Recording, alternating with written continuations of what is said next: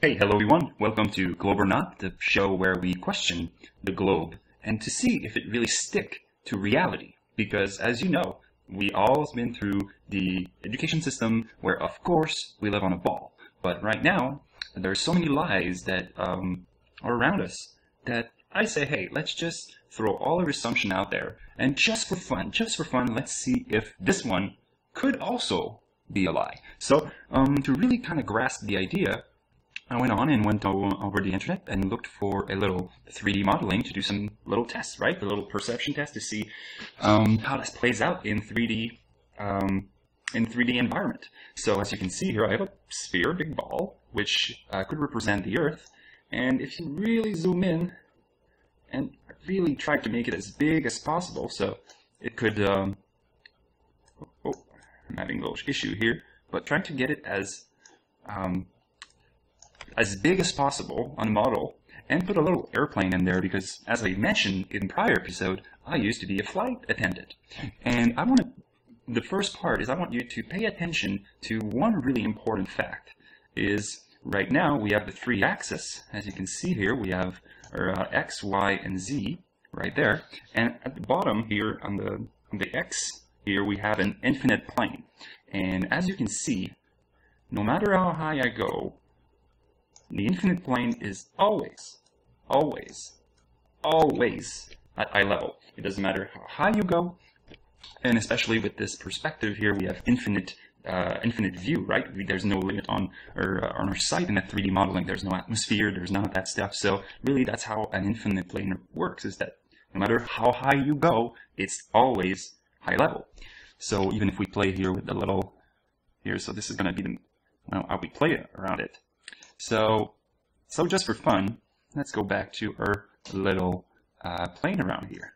Let's try to find it back because I tried to make it as little as possible in relation to the sphere. And of course, it's not to scale, but you know, if some of you are not happy, I'm going to make it twice as big just for fun or 10 times as big um, to, to just illustrate the point because it's always the same point. If you're above a sphere, okay, let's try to get as close as possible to that little plane. So if you're above a sphere, and let's say you take off, right here, and you take off, and imagine this here is the horizon on the ball Earth. Let's forget about the infinite plane at the back. So you take off, take off, and look at what's happening to the horizon. It's falling. It's always falling.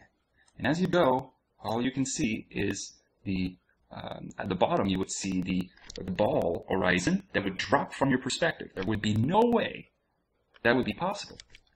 Because as you know, when you go on a plane and you look out the window, and I know because I was a flight attendant, I did it every week, at least two or three times. I was going Montreal to Cancun, Cancun, Montreal. You take off, you look at the horizon, and it just follows your eye line.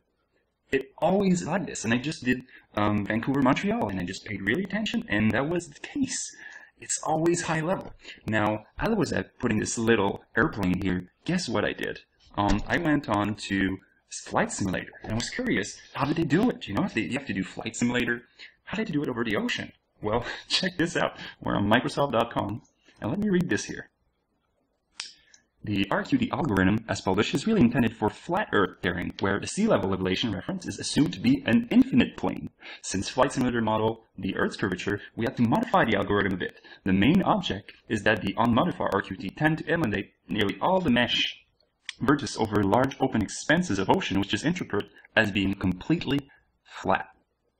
Now, if you are going to create a model of reality and you're doing around the ball, but it doesn't work over the ocean, you have to make it a plane. So, um, I'm gonna tell you guys, this, and, and gals, this doesn't make any sense. This is not a positive proof for the globe. So uh, as I was going around and looking at my uh, metal pad to see, okay, is that a proof for a globe? Or is it uh, not a proof for or against? Or it's definitely proof that it's not a ball? I gotta tell you, this doesn't look good.